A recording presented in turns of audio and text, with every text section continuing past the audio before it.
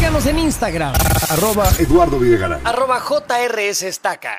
La corneta. Creencias de un buen mexicano. 10. La número 10, gracias señor presidente. Creencias de un buen mexicano que en un microbús diseñado para 50 personas caben 500. ¡Súbale, súbale! Sí, si se aprietan bien no pasa nada.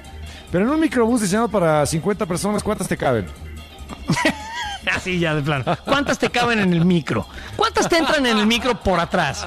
Sí, sí, sí. Pero además luego la gente se sube por atrás sin pagar. Sí, hombre, ¿y cuántas te entran en el micro? Es terrible. El microbús, el microbús.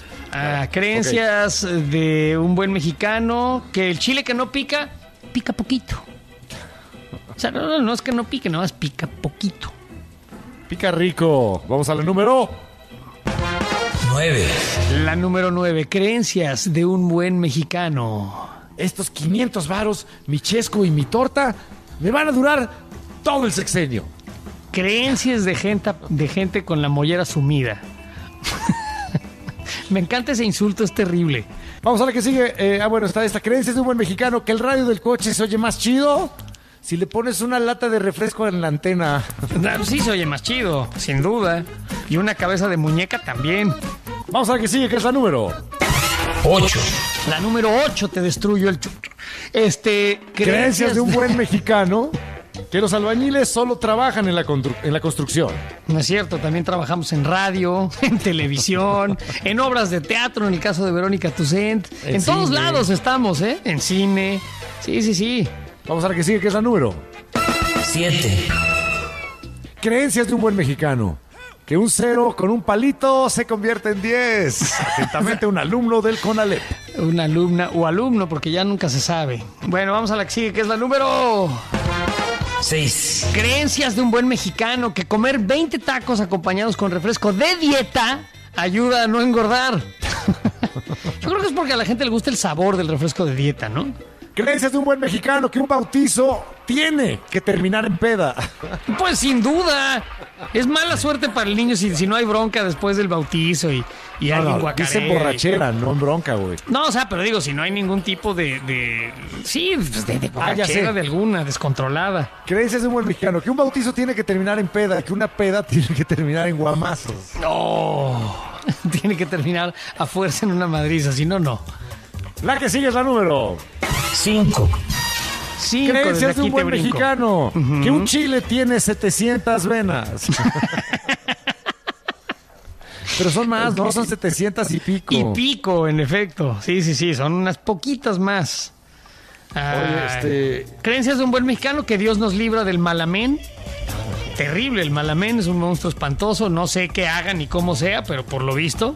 O sea, si pedimos que Dios nos libre de él, el malamén debe de ser terrible.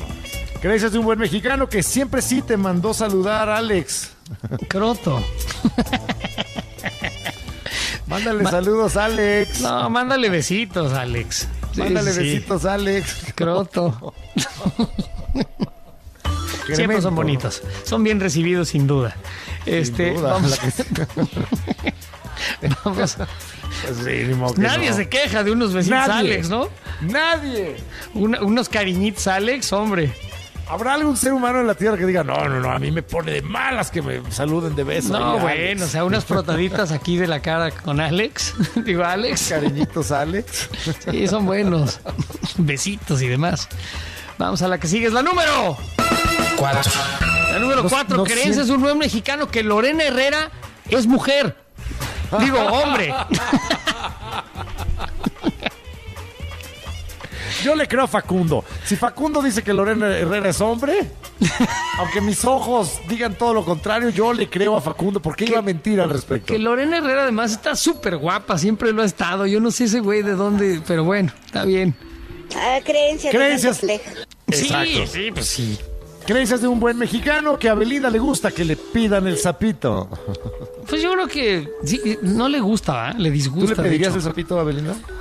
Eh, sí, dudo mucho que me lo que me complazca, pero sí se lo pediría. Sí, sí que, se te lo lo, que lo pediría. cante, ¿no? Que- que Sí, sí, sí, que saque el sapito. el sapito. Sí, que me presuma el sapito, no, no sé.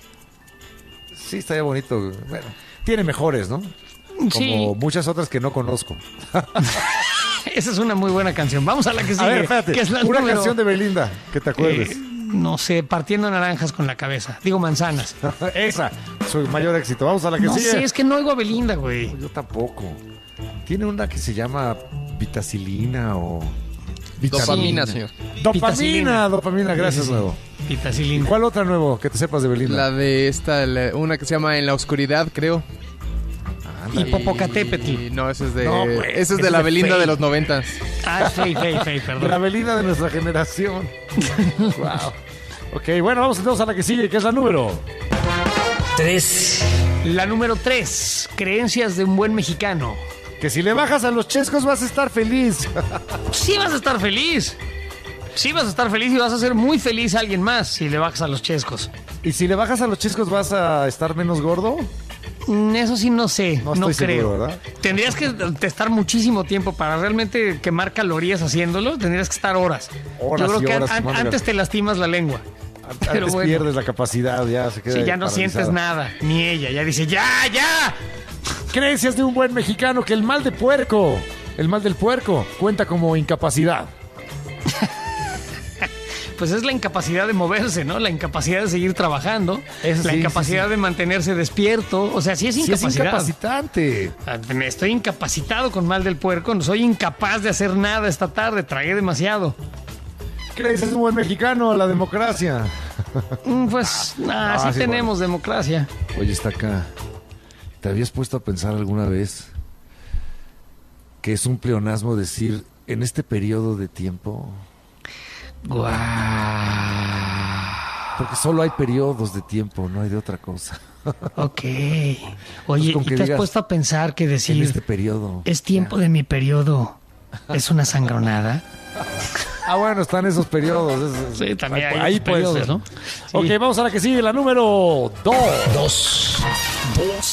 Gracias, don Andrés Manuel. Creencias de un buen mexicano que si nos organizamos queremos todos. Mm, ah, es una buena creencia, la verdad. Está bien. Todos. ¿Tú crees que si nos organizamos, sí? Yo creo que sí, si nos organizamos, todos, todos, todos, todos. Porque alguien siempre quiere, ¿no? O sea, es cosa de organizar. Y finalmente la número. 1, Creencias de un buen mexicano. Que si no la pasas, te embarazas. Eso es bonito. Si no la pasas, te embarazas. Pues sí, pásenla, no sean así, rólenla. No sean caciques. que, si no, que si te los pasas, ¿no te embarazas? ¿o cómo? Me gusta muchísimo eso, el, ca- el cacique. Es que no, me, me caciquearon. Pero Está bien cacique este guato. Ya casi no lo he oído.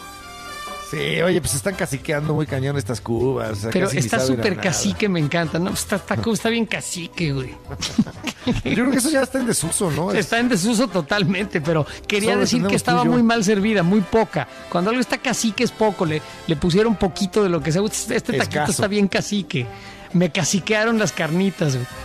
Sí, ve nada más, ahí trae un pedacito nada más de carne o de salsa. No sé si sea. siga en, en uso el- la expresión cacique, pero a mí siempre me gustó mucho. Bueno, pues yo creo que con eso podemos eh, eh, dejarlos con un buen sabor de boca.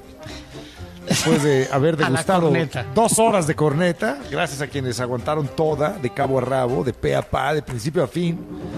Y a los que le hicieron gestos por ahí, pues lo sentimos mucho, es lo que hay. Pues sí, ¿Saben y es lo que les damos todos los días. Ya saben, eh, la semana que entra regresaremos con un poco más eh, de corneta para que pues oídos eh, del público ya no sean castos y vírgenes, sino se vean ultrajados y penetrados una y otra vez por las estupideces que en este programa se emiten. ¿Tú te quedas con buen sabor de boca después de haber disfrutado este programa? Eh, sí, sin duda. Yo también. O sea que ¿Ah, me sí? huele la boca a pito. ¿Qué, perdón. ¿De cuándo es eso? Nuevo, estás ¿A- despedido. Gracias. ¿A qué te huele la boca, Eduardo? O sea que ¿Ah, me sí? huele la boca a pito. a apio pequeño. A pito. A pito. Ah, pito. Bueno, coman, Adiós. coman bien, aliméntense, nos vemos luego. O sea que ¿Ah, me sí? huele la boca a pito. En este instante se va la meme en la corneta. ¿Y este es el cierre? No, este.